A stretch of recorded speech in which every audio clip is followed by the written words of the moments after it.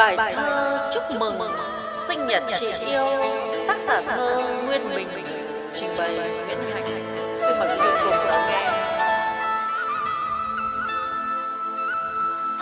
Kính chị em viết thơ Vĩnh yên ngày hạ, chị sao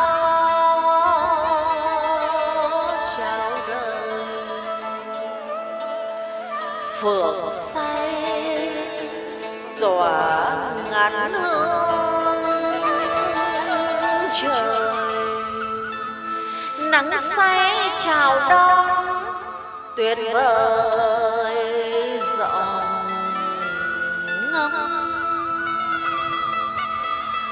Bảy tám mùa xuân thăng trầm, chiến tranh áo linh âm thầm đôi lo chồng chiến sĩ chị con thơ.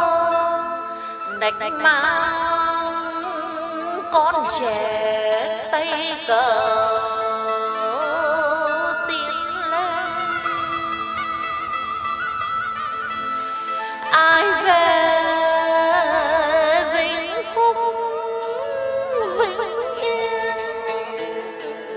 bảy tám năm trước làng tiên chào đời. Tuổi xuân chị quá tuyệt vời, nửa xuân công hiến cả đời nương non.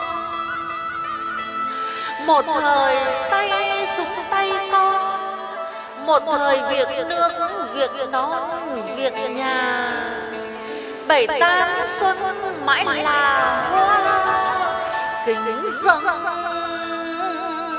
lên chị bài ca. Chúc mừng. Chúc phúc tuổi thọ sơn cùng. Đức dạy con cháu công dung vẹn toàn chúc chị luôn mãi hồng loan. Những đêm thơ diễn tao đàn giọng ru